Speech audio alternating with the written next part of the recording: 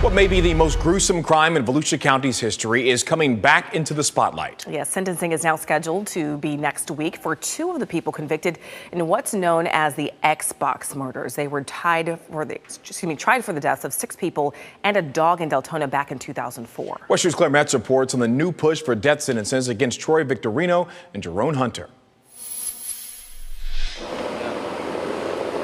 Telford Lane was a nightmarish crime scene when law enforcement arrived in August of 2004. Six young people beaten with bats, stabbed with knives, a dog stomped to death. Evidence of the violence in almost every room of the house.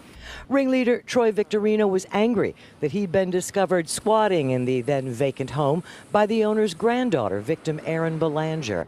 And angry she still had some of his belongings, including an Xbox game. The murders have often been called the Xbox killings. Ms. Belanger was in the house with friends Michelle Nathan, Francisco Ayo Roman, Anthony Vega, Roberto Gonzalez, and Jonathan Gleason on the night of August 6th when Troy Victorino orchestrated a massacre. It's my testimony that I'm innocent and I was not at that crime scene. Victorino, along with Jerone Hunter, Robert Cannon, and Michael Salas, were connected to the crimes. And in 2006, Victorino, Hunter, and Salas were tried, convicted, and sentenced. Cannon did not go to trial, taking a plea deal right before the start. Cannon and Salas got life in prison, but Victorino and Hunter were sentenced to death.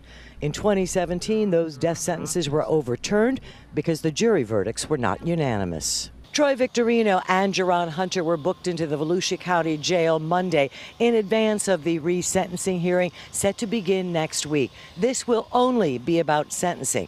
The first degree murder convictions against the men stand. The state attorney's office is again seeking the death penalty against the two men, though this time a jury's recommendation will have to be unanimous, or the defendants will get life in prison. Jury selection begins Monday morning. In Volusia County, Claire Metz, WESH 2 News. Attorneys for one of the convicted men filed a motion asking that the resentencing hearings be separated. The judge denied that motion.